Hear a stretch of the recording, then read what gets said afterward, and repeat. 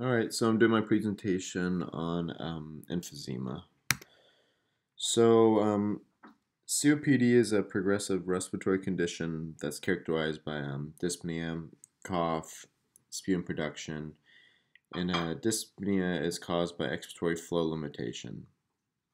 So, pathologically, COPD lungs have um, alveolar destruction and enlargement, inflammation of the lung parenchyma and the airways and emphysema can be caused from alveolar wall cell death or failure of alveolar wall maintenance. The studies show that chronic inflammation and oxidative stress contribute to more destruction and impaired lung maintenance and repair um, um, and emphysema. Smoking is obviously a cause of emphysema, but genetic factors may play a big role in susceptibility or resistance to cigarette smoke. Um, so the inflammatory response in emphysema shows um, activation of the innate and acquired inflammatory processes. The more the inflammatory components gather, it contributes to lung injury in these patients and serves as a stimulus for more immune activation. The transporting of inflammatory cells to the lung causes the release of destructive mediators, including tissue proteases and cytokines, which contribute to tissue remodeling and destruction. These mediators also have chemoattractant factors, um, most of which are chemokines, um, which attract to more inflammatory cells, and the inflammatory response triggers um, structural cells, which includes vascular endothelial cells and epithelial cells, to make a lot of pro-inflammatory cytokines, chemokines, and other mediators.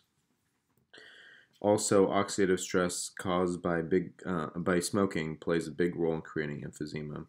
The biggest thing that happens is that the oxidative stress activates the transcription factor, nuclear factor KB, which activates the pro-inflammatory cytokine transcription.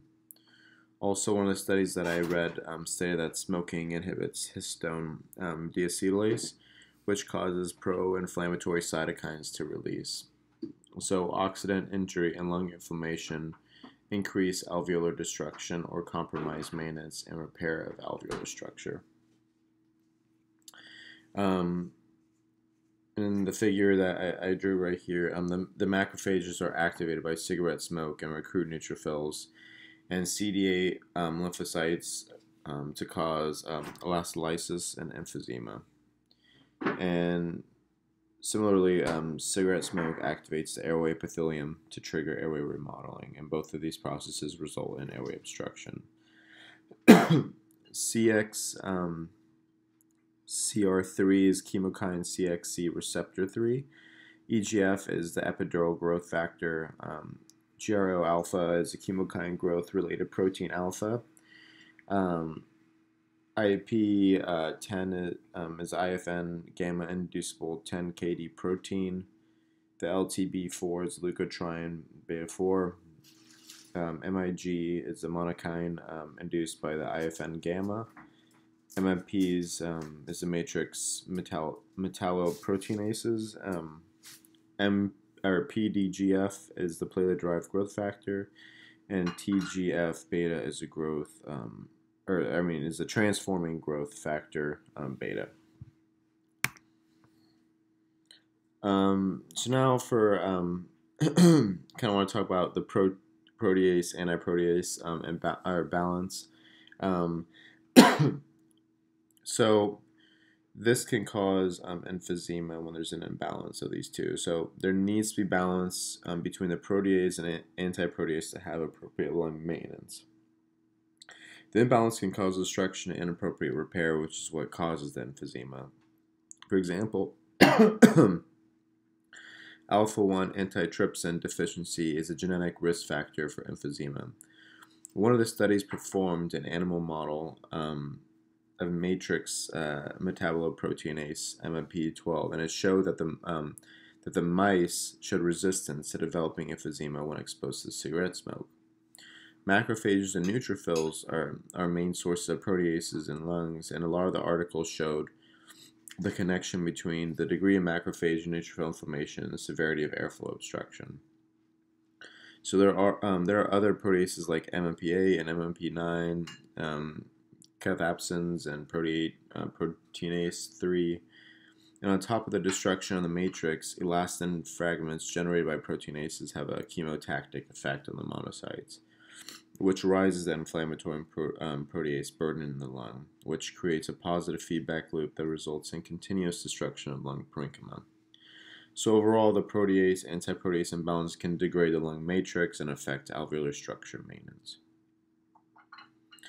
Um, so what was interesting was that a study I read talked about how lung parenchymal plasticity is related to oxygen consumption and nutritional status. And a lot of studies have shown that malnutrition and starvation may contribute to development of emphysema.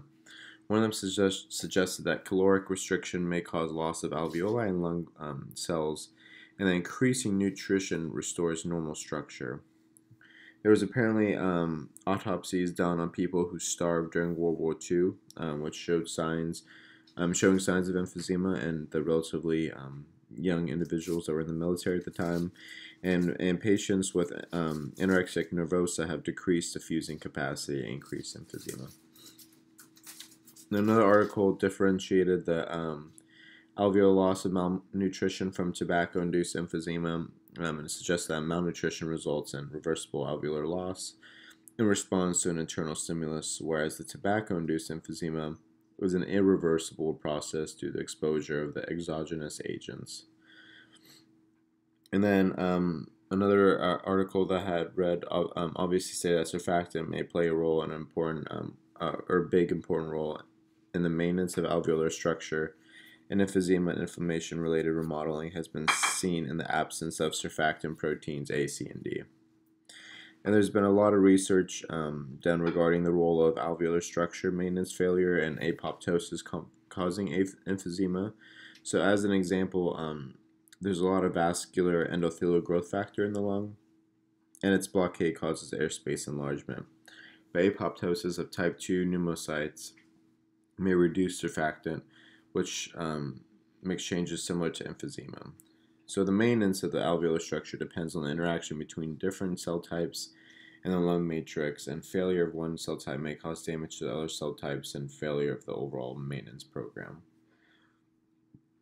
So, overall, inflammation and oxidative stress um, causes damage to airspace structure and disturbance of the normal maintenance of alveolar structure. The research shows that protease and antiprotease imbalance causes emphysema, and additionally, apoptosis has been shown to cause emphysema. So, being able to identify the cellular and molecular mechanisms involved in the development of emphysema is very important, so that way we can figure out new targets for therapeutic intervention. And that's pretty much it, and um, these are my references.